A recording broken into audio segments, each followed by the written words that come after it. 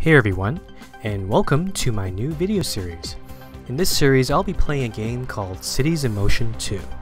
It's a relatively new game, just came out in April this year, and it's developed by Colossal Order Game Studios and published by Paradox Interactive.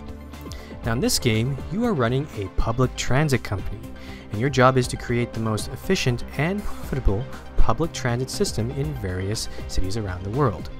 And since I am a self-described transit enthusiast, uh, this game is definitely relevant to my interests. So uh, let's get started. In this episode, I'll be playing in the tutorial mission and hopefully show you the ropes. Alright, so here we are in the tutorial city. Uh, camera controls are pretty simple. To move around the camera, you just use the W, A, S, and D keys, like this. And if you want to zoom in, uh, you can use the mouse wheel to scroll in. And the detail gets really pretty, pretty amazing. You can go all the way down to street level like this. And if you want to uh, rotate your camera, you just click the mouse wheel or your middle mouse button like this. Now that dinging sound you see is, since we're in the tutorial, uh, that's the, just the tutorial telling me that I've done all the instructions correctly, and I can move on to the next step. So let's do that.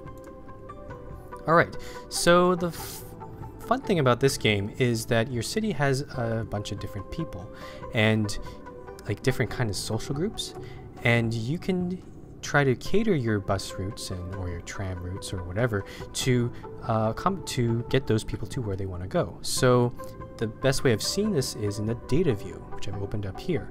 If I click buildings here, this will show me uh, what kind of buildings are in my city. So green indicates homes, so I got uh, suburbs here and some apartment buildings in the city. And the red indicates workplaces, so I got a big industrial district down here and a few office buildings in the downtown core over here. Now this is just buildings, but uh, you can actually focus the data view onto different social groups. Uh, so in this case, there I got blue collar workers. If I select this, it'll show me where the blue collar workers live, which are and where they work. So they live, a lot of them seem to live in these two apartment complexes over here, and they all seem to work uh, in any of these in the industrial district, any of these uh, factories over here. So yeah, that's the blue colors. Now, I'm also going to look, you can also switch to different social groups. So the white collar workers here, we got the uh, suburbs in this corner of the map here, and they every every time they go to work, they go across the bridge and into this uh, downtown core and these fancy office buildings here. I'm going to keep this on the white collar workers because the next part of the tutorial is actually building a bus route, and I'm going to build the bus route for these white collar workers. Just go into the next part of the tutorial. Uh, so, the tutorial, uh, can't really pronounce there. So, here we got, uh, let's open up the construction menu. Oh, thank you, tutorial. Thank you. Okay, so now, uh, to build a bus line, uh, each bus line needs two different things. A depot, or depot, I guess you call it, where the buses uh, start and stop and get maintenance from, and also a bunch of stops. So, uh, so bus stops, we got several different kinds of stops here. Uh, bus stop with sign, shelter, a shelter with bench, so pretty fancy, and two different kinds of depots. So we got a basic bus depot, depot, depot, I don't know what, how to pronounce it to be honest. I'll call it depot. Uh, it's a large bus depot which can carry more buses. So we're gonna, um, so let's build a depot, uh, depot first. So let's go over here. I already got a spot in mind here, so I'll build it right there. Okay, so and then uh, the depot is where the bus route's gonna start and stop. So uh, then you just build stops, uh, actually bus stops, uh, that where passengers can get on and off. So I'm, I'm going to make this one take a left turn onto this road and we'll stop there because I want to also make another left turn onto this on-ramp right here so it can get to the suburbs over there. So I do that. And you'll notice that when I place a stop, there's this big white circle. That is the catchment area around the stop. And that basically um, basically any uh, buildings within that catchment area, the people with living in those buildings will walk to that stop. So you can be pretty generous. You don't have to. You can make the stops overlap in some ways, but uh, you don't really have to. So, okay, so the tutorial only told me to build a few stops, but I'm actually going to make this bus line a bit longer. So I'll build a few more stops like so. Okay, so those are all the stops in the suburbs. Now the bus is going to go across this bridge here, and then uh, it gets a little interesting. Uh, there are two ways it can go. It can go on this off-ramp to the back to this road here, or go into the downtown core onto this big four-lane uh, road here. Uh, I think that's what I'm going to do. I'm going to go into the downtown core and stop there. Now the interesting thing is in this tutorial city, this long road that you see here is actually one way. So unfortunately, it does kind of restrict me on how I can route this uh, or create this bus route. So I'm going to actually just take a right turn and just put a few stops uh, down this one-way street. Okay, um, I think I'll skip that intersection because I think uh, we already got good coverage. I'll put the next stop over here. And the final stop will be right outside of the boat. Okay, so those are all our stops. Now, here, now we get to establish our bus line. So let's click next here. Alright, so to establish a new bus line, you go to the transport panel down here, and you click create new. And then you can add stops to that line. Now every line needs to start from a uh, depot, so you click this, depot there, and then uh, now I'll just follow the route as I described before. So I'll take a left turn there, and then the next stop after that will be actually be in the suburbs way over here. So if I do this right, you can see there. I click that, it goes across the bridge. Then I'll just uh, quickly go through these stops around suburb. Looks good. And then the next stop will be back in the downtown core. Crossing the bridge there. Going down this street. Take a right turn and then finally back at the depot. Alright, so we got our lines completed. It's got 14 stops. And now I'm going to build myself uh, some vehicles because now we, got, we can actually run some buses on it. So now let's go over to the de depot here, you click buy vehicles. And uh, the selection of the buses isn't too great right now, but I suspect that the game will provide more DLC and other expansions later to provide more different kinds of buses. But you can tell that we got three different kinds. You got the cheaper 10-seater here, uh, uh, one and a slightly a medium-sized bus with 20 seats, a little bit more expensive. And then you got the double-decker, which has 30 seats. Um, in this case, um, you also got you know some stats about service quality, but I think I'll go with the uh, big double decker. And uh, let's see. Oh, the nice thing about this game is now it actually it actually estimates uh, how many buses you'll probably need on your line to provide uh, you know the full service. So in this case, it's estimated that I need four buses. So um, I think I'll be a bit more conservative. I'll buy six buses. And now, once I got the vehicles, now you'll see, there's our bus. Okay, it's not the bus, that's a traffic light. Uh, can I select that bus? There we go.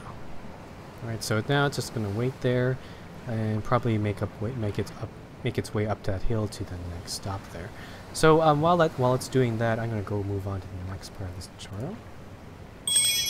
Oh, I just did that. Oops, I forgot to push next.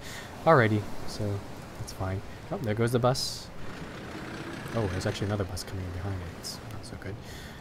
Alright, so now every bus line has a timetable. And how the timetable works, uh, it is actually this big complicated graph thing you see there.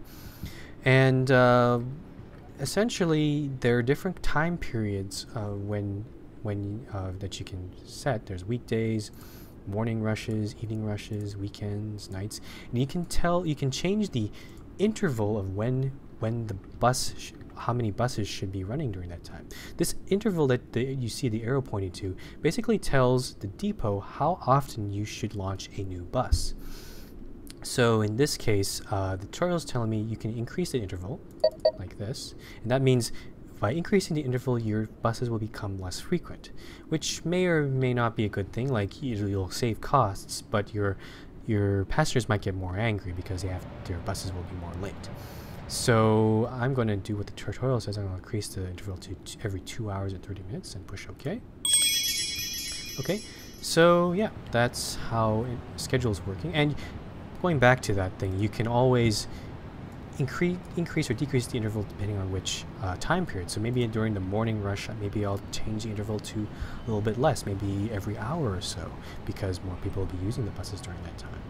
So yeah, it gives you a bit of flexibility. I'm not sure how important it is to the game. Like usually you don't want to be spending too much time. Some people might not want to spend too much time micromanaging that sort of details, but it's it's an interesting aspect of the game, I think. So uh, yep, that's that. Let's move on to the next part of the tutorial. Okay, so unlike the original Cities of Motion, uh, you weren't able to actually build any roads, but now you can in Cities of Motion 2. Um, and yeah, it allows you to build more routes and that sort of thing. But um, in this tutorial city, there's not much need for new roads, so I'm just going to, just to fulfill the tutorial and make it happy, I'm going to build a road outside in the boonies here. And uh, now, so you go to the construction menu, you to build roads, and you got several different kinds of roads. And when even in there, there's a whole different kinds of lane structure that you can choose. So some of them are like just two lane roads. Some of them are bus only lanes, which is quite kind of interesting. And also some of them have like you know different configurations for parking lanes and all those sort of things. And that's just this is just the regular roads. There are also one-way roads, avenues with little medians inside of them, expressways like pedestrian streets. Like it's it's a huge, it's kind of an overwhelming selection to be honest. But um, I can see why the developers went this way. It is pretty powerful. So um, all right, I'm just gonna build a simple regular road. Uh, let's do that, I guess. You just click uh, intersection, it'll just automatically create a intersection for you, and click that. And now you set you can set waypoints. You can I could extend this road a bit more, but if you don't want to do that, you just click again where you just clicked and it just builds the road for you like so. So yeah, you can, it allows you to un easily undo in case you uh, make a mistake. Alright, so there's my little dinky road there, not really doing very much. Uh, let's keep going. You can tell I don't really like roads as much. I like the buses and the trams a lot more here. Oh, there, there's a bus going. Pretty cool stuff there. Alright, so now, uh, now, now you can, uh, let's move on to building trams. Now trams are a little different. Uh, you they're kind of like bus routes. You also you build the same depots and stops for them, but you need to build tram tracks. So you can see the arrows pointing to tram tracks here. And the trams are basically rails you build on roads. So actually, before we move on, let's let's figure out what, how we should uh, build this thing.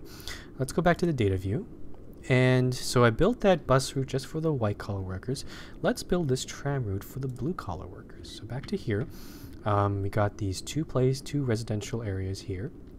We wanted to feed it into the industrial, and I'll probably make this tram line feed the whole industrial area. Now let's see if I can build, let's start building some tram lines. Alright, so I have to th also think about where the depot is going to be, but I'll do that later for now, I am going to build... Let's go to the industrial district first.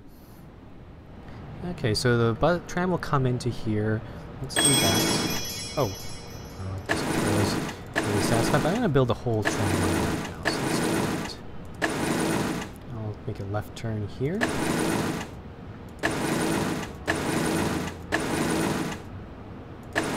Make it go all the way around like so.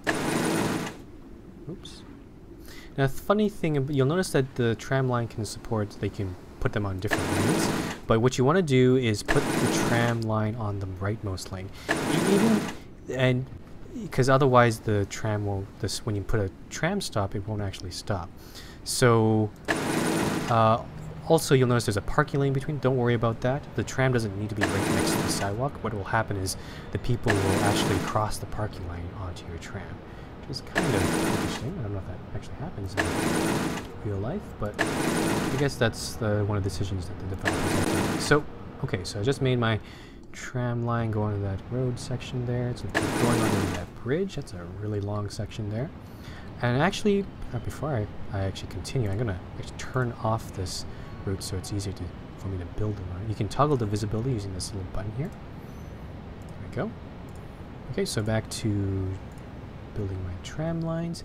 Um, in this case, I'm going to make the tram line go around onto this on-ramp. And go... Let's going to do a loop. It's going to go up here. Here. And then also it's going to share the one-way street with the buses. So do all that. Looks good there. Going. Right turn here.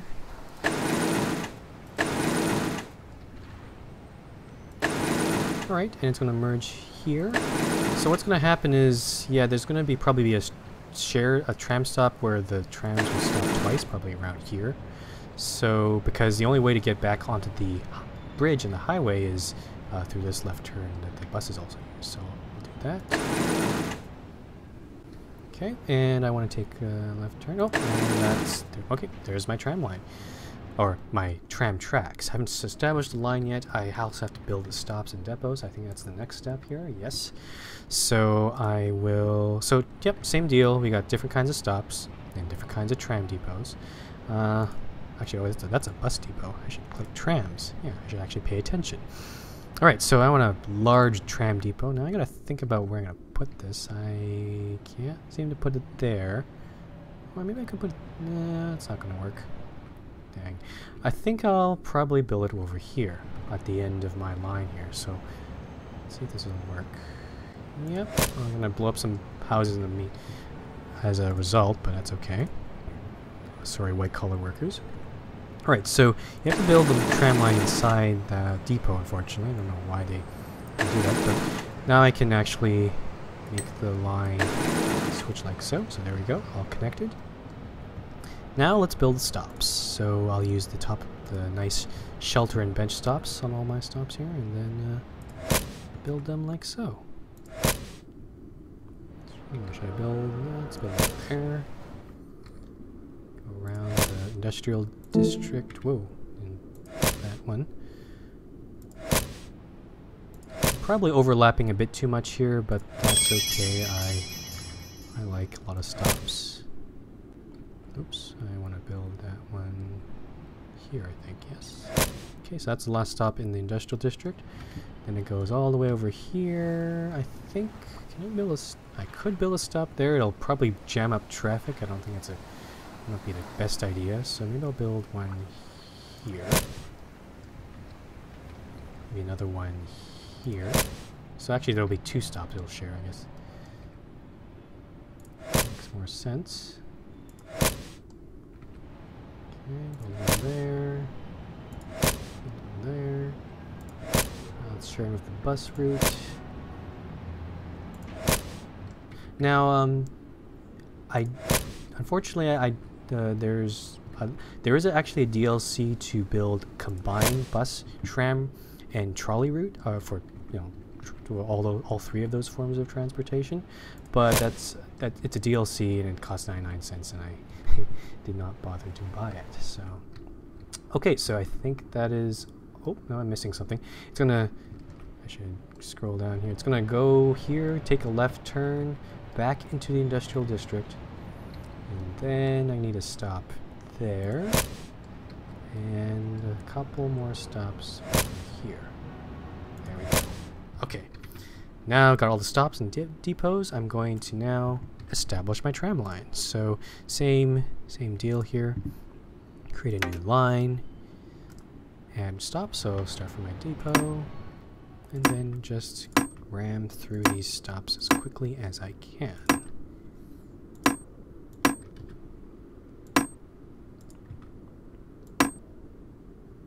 Yeah, whoever made the city is it's not the greatest roads road network I've seen. Uh, but what can I do? It's a tutorial city. Okay, so it's gonna go right turn here. Down the one-way street.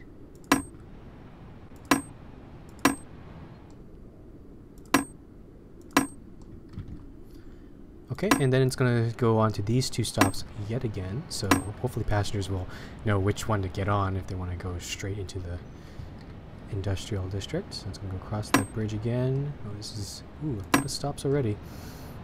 And finally back to the depot. Alright. Now, oh, it's already complained to me that we have don't have any vehicles, so we better get on that. I'll click my depot there.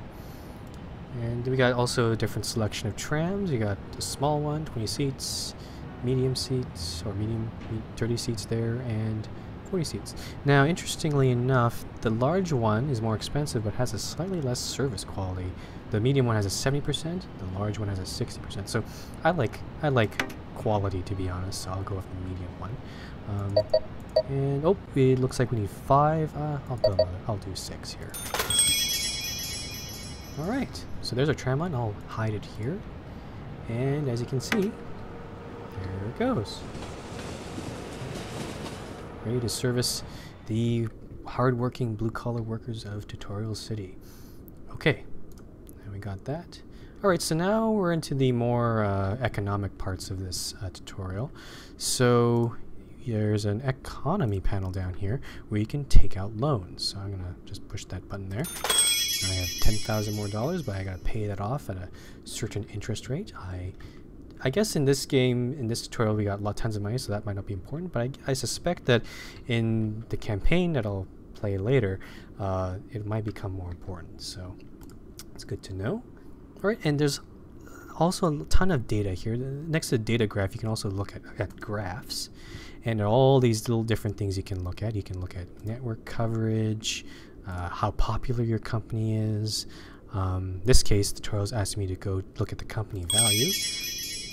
Not sure how to interpret this. It's a bunch of lines and stuff, but uh, I guess uh, it might become more important as I go on. I haven't looked through any most of these things, so it'll be pretty interesting to look at those later. Alright, so next part. Uh, oh, so ticket prices. Going back to the economy panel, you can set ticket prices for your different um, different routes here. So uh, you'll notice there's also uh, several different fare zones, which get, I'll get to in a minute. But there's a basically a base uh, fare uh, fare um, for each different kind of mode of transportation.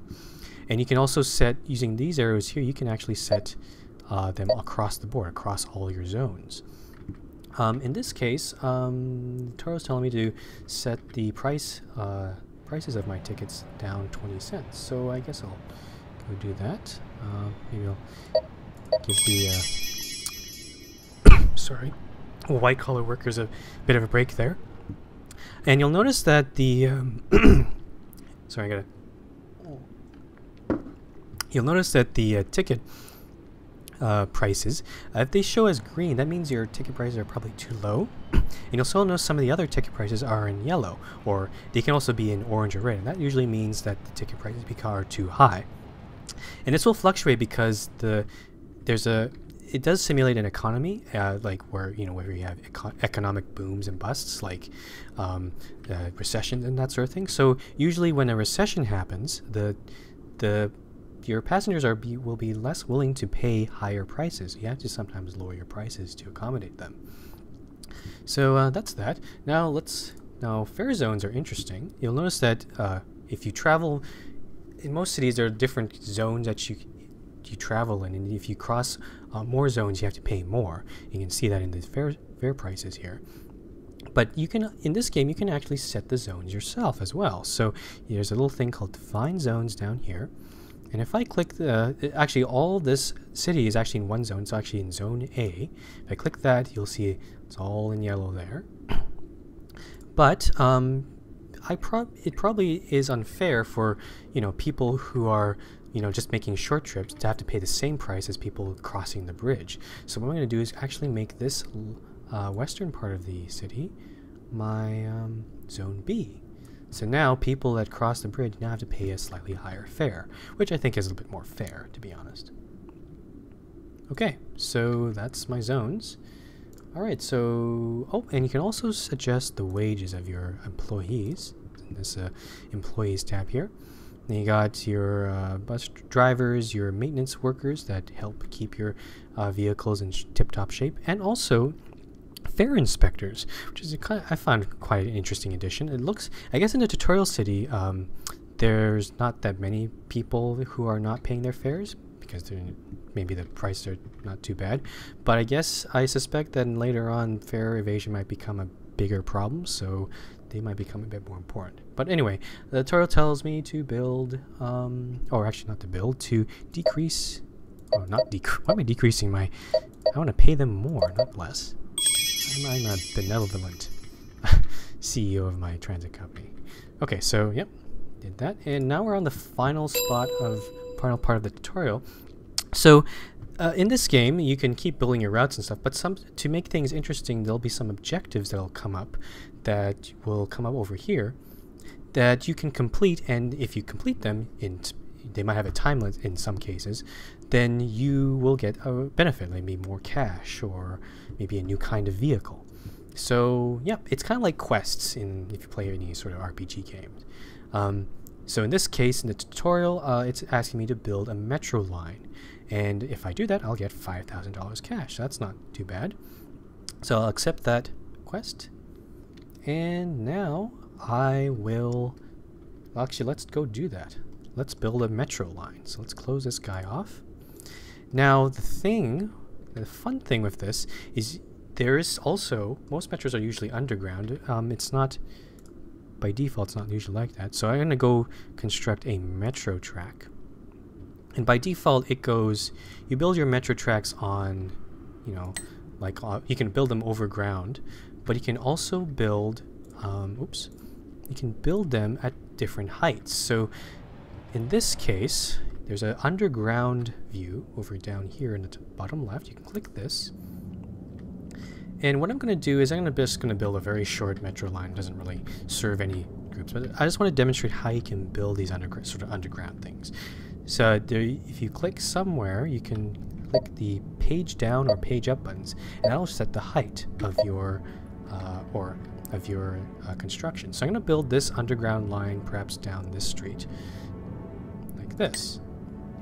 And now you can see the metro line there, and I'm going to build a very straightforward line here.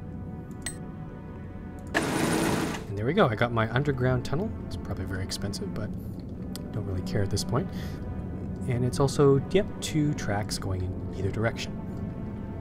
Alright, so now I'm going to get me some stations. Oh, that's a lot of overlap there. It's kind of hard to see. But I'm going to build a stop right at here. I know it's kind of hard to see, because all those build make this a very simple two-stop metro system. Over here. You'll notice that when I build a stop, it automatically gives me a nice platform before this trains will stop, and also builds me a little entrance. So you can notice when I built this entrance here, this connects, automatically connects up to the street, up to here. So it's, I found that pretty cool. Okay, so I got my line. Uh, let's build a depot for my metro system. I'll make this a small one. I don't want to too complicated here. Oh, I also have to set the height of this guy as well, so to 4 meters this is going to connect as well. Hmm. It's going to work? Not sure. It's not the greatest underground interface I've noticed, so mm, that looks really strange. Maybe I'll build it on this side. How does that work? Oh, I see, it's a switch. I'll do that then, I think I'm not sure if this is going to work. Oh, it connects up to the road. Why would it do that? That's interesting. I'll just see what happens. That's interesting. It... That's not what I want. Is that... Oh, great. It just blew up some buildings and just put my depot not connecting to the road, or to the rail, connected to the road. That's not useful at all That was pretty dumb. Okay, well, let's try this again. So, small depot, underground view. I want it to be pretty deep. Oh, I think I understand. Oh, now I understand why. Most metros, the depot's up above ground, so I need actually need to build. I need to build a connector up to uh, ground level. So I need to actually extend this off. Maybe I'll maybe build it off to my to my road in the boonies there. So let's do that. I'm gonna set this down to four meters, 12 meters. I don't know what's appropriate here. Yeah, as you can tell, I haven't really figured out the whole metro thing. It's not quite as intuitive as... Ah, there we go. Alright, so let's go up to 8 meters, and then maybe bring it up back up to ground level. There we go. So now... That's better. There, so now you see the metro line coming out of the tunnel there. I'm going to now build my depot. Please. Excellent. Alright. Now, uh, I got my stops, my depot. Now it's now we can just establish the line. So let's go here, create a new one. Okay, so it's gonna go from the depot. I probably need to turn on underground view. Uh, oh. oh okay, I guess this will be... Hmm, maybe I'll build one more stop here. That's probably makes, makes a bit more sense. Depot, depot, depot. Yeah, that makes sense. Okay. Alright, uh, back to this. Metro line. Depot, so stop there. Stop there. It's gonna... I think it will turn around? I don't know. I'm not entirely sure. There's no available route from the previous stop. Okay, so... How does it turn around? That is a good question. Hmm needs an actual loop. It's very odd, to be honest.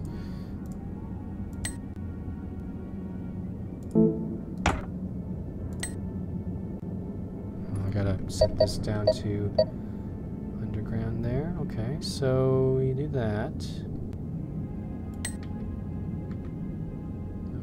Wow, that looks weird. Uh, nope, not quite what I wanted. Uh, let's make a bigger loop here. Yeah, metro systems are actually work like this, this is not terribly intuitive, to be honest. Or maybe I can just make two depots. Ah, maybe that's a better idea. Let's, but no, I have to make... Hmm. Oh dear. Okay, let's do that. That big, humongous loop-de-loop -loop thing. No, you don't like that. Why? Oh, oh, okay, oh. Uh, yeah, it's... Uh, yeah, close enough. I like that. Okay, good enough. It looks really stupid, but... yeah. It's very odd that they didn't put any easy easy way, like, if a you know, track ends there, you should just have some switches to go on the other side, but that's kind of weird. Okay, maybe maybe I'm just not doing this right, but... Alright, so back to here, I'm gonna add my stops do this right here. Let's do it again. So, add my stops. Here. Here. Yes. Let's get things in the way. And then it should be able to get back. Yes, good. And then back to depot. Oh, and I complete my objective. But I I made a line. I want I want to see it in action. So let's get my depot here oh, to do that. Depot, give me depot. There we go. Buy vehicles. Okay, what do we got here? 50% service quality, kind of small. Ooh, that's a big one. 70%. Let's build a smaller one. And one train. Uh, let's build two. Alright, no, I'm gonna hide this. Oh, there it goes. Woohoo! And we have a metro. Terribly strange metro, but it works for me. Alright, so that concludes this tutorial. Um, in the next episode, I'm going to actually start the campaign, and I have no idea what I'm going to expect there, but hopefully it will be quite entertaining. So, thanks for watching, guys, and see you next episode.